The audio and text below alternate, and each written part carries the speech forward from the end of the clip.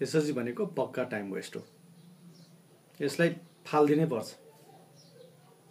किन भनेर सोध्नु होला? यसका प्रमुख तिन कारण छ। एउटा कारण त नेपालीहरूको जुन विविधताको बलियो कुरा छ नि बलियोपन त्यसलाई यसले आत्मसात गर्दैन। कसरी भने सोध्नु होला? एसएलसी भने चाहिँ कस्तो एक्जाम भयो भन्दाखेरि एउटा हात्तीलाई एउटा बाँदरलाई एउटा बाघलाई र एउटा माछालाई तिमीहरू सबै जो जसले रुख चढ्न सक्छ त्यही खतरा भनेर भनिदिएको छ कि? रुख त बाँदरले मात्र सक्छ। त्योहरू सबैको आफ्नो स्ट्रेन्थलाई यसले नलिएको हुनाले एसएलसी चाहिँ नेपालकोलाई सान्दर्भिक भएन। शिक्षा भनेको त सबै विद्यार्थीको आफ्नो स्ट्रेन्थलाई लिएर हुनुपर्छ। खुबीलाई लिएर पो त हुनुपर्छ त। सबैको खुबी एउटै हुँदैन।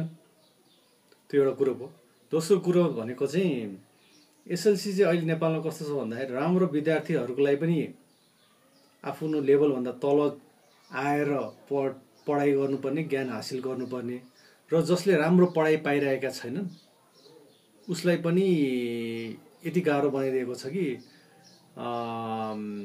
उसले खालि त्यो एसएस दिँदाखेरि झन् बेजत मात्र भोग्नुपर्छ। त्यही भएर त्यति धेरै मान्छे फेल पनि हुन्छ। म आफै म गर्नु स्कुलमा पढ्दाखेरि म क्लास एटमा मेरो जुन इङ्ग्लिसको लेभल थियो त्योबाट अझ तल झरेर इङ्ग्लिस रिडर जुन एसएलसीको इङ्ग्लिस थियो त्यो एकदम तल्लो लेभल लाग्थ्यो। मेरो इङ्ग्लिसै बिग्रेको जस्तो लाग्थ्यो यदि त्यो पढ्दाखेरि। त्यही भएर यो दुइटा यो भनौँ न राम्रोलाई पनि र राम्रो गर्न नसकेका विद्यार्थीको लागि पनि नमिल्ने खालको चाहिँ सिस्टम छ यो। तेस्रो कुरा भनेको एसएलसी भने एकदम महँगो कुरा रहेछ कि। यसले एकदम पढाइ एकदम धेरै पैसा लिन्छ। किनकि यत्रो धेरै विद्यार्थीहरूलाई एउटा ठाउँमा ल्यायो पढायो टेस्ट गरायो होइन यति धेरै मान्छे फेल हुँदा हुँदै पनि यसले अब हाम्रो शिक्षामा करिब करिब त्रिसठी अरबभन्दा बढी खर्च भएर रहेछ सन् दुई हजार एघार बाह्रमा। एसएलसीले त्यसको एक ढिक्का त लिएको हुन्छ। र यसको सट्टामा त मेरो विचारमा पैसा बचाएर अरू नै अझ भनौँ न अझ शिक्षामा नवीनता अझ शिक्षामा प्रगति ल्याउनलाई गर्न सकिन्थ्यो। अब धेरै साथीहरू सोध्नुहुन्छ प्रगति कसरी गर्ने त? एसएलसी एसएलसी मन परेन भन्नेमा कहाँ हुन्छ? अरू पनि त यसको विकल्प तपाईँहरूले दिनु पऱ्यो नि त। भनेर भन्दाखेरि चाहिँ यसमा पनि मैले दुई तिनवटा पोइन्टहरू भन्न सक्छु। एउटा त के हुन्छ हाम्रो एक्जामिनेसनको स्ट्यान्डर्डहरू डिफ्रेन्ट हुनु पऱ्यो अलिकति प्र्याक्टिकल बेस्ड हुनु पऱ्यो अलिकति कम्युनिटी बेस्ड हुनु पऱ्यो समाजलाई हेर्नु पऱ्यो त्यहाँको संस्कारलाई हेर्नु पऱ्यो र त्यही अनुसारको पढाइ हुनुपर्छ। दुई तिनवटा सब्जेक्टहरू बरु लिगल गरिदियो वा भनौँ न कम्पलसरी गरिदियो। जस्तै म्याथ हुनसक्छ नेपाली हुनसक्छ। अझ मलाई सोध्नुहुन्छ भने एउटा अङ्ग्रेजी पनि एउटा राख्छु होला मैले। तर अरू कुरा भनेको आफ्नो समय ठाउँ र भूगोल सापेक्षिक हुनुपर्छ सापेक्ष हुनुपर्छ। जस्तै अब हिमालय बसिन्छ भने माउन्टेन मेडिसिन। वा माउन्टेन क्लाइम्बिङ हुनसक्छ एउटा पढ्ने कुराहरू। तर कुनै त्यहाँ काम नलाग्ने विषय चाहिँ पढाएर काम छैन नि होइन? त्यस्तै गरेर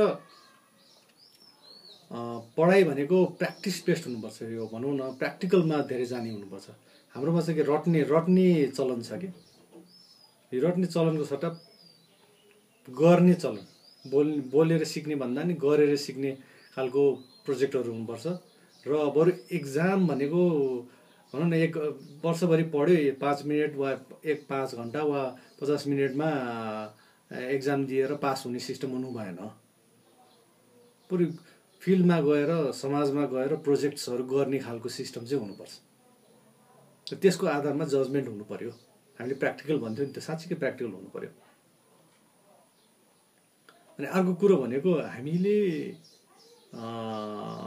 असफलतालाई पनि सेलिब्रेट गर्न सक्नु पऱ्यो we have to celebrate failure हाम्रोमा के छ भन्दाखेरि फेल फेल भनेको त यति नराम्रो बनाइदिएको छ कि कोही मान्छे फेल नहुनलाई हामी सेफ भएर बस्छौँ कि। तर जिन्दगी भनेकै जिन्दगीको सफलता भनेकै एउटा फेलियर पछि अर्को फेलियर पछि अर्को फेलियर पछि सिक्दै गएरै सफल हुने हो। त्यो कुरा बुझ्नु पऱ्यो नि हामी सबैले यदि त्यो कुरा हामीलाई सानैदेखि बुझाउन सकियो भने बल्ल सक्सेस हुन्छ। त्यही भएर फेलियरकोलाई हामीले सेलिब्रेट गर्ने खालको संस्कार राखौँ। हाम्रो पढाइ पढाउने सिस्टम शिक्षा सिस्टम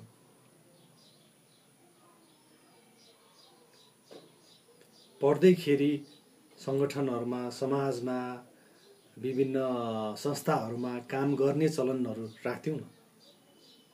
ताकि उनीहरूले सानैदेखि पढेर मात्र होइन कि पढेर सिकोस्।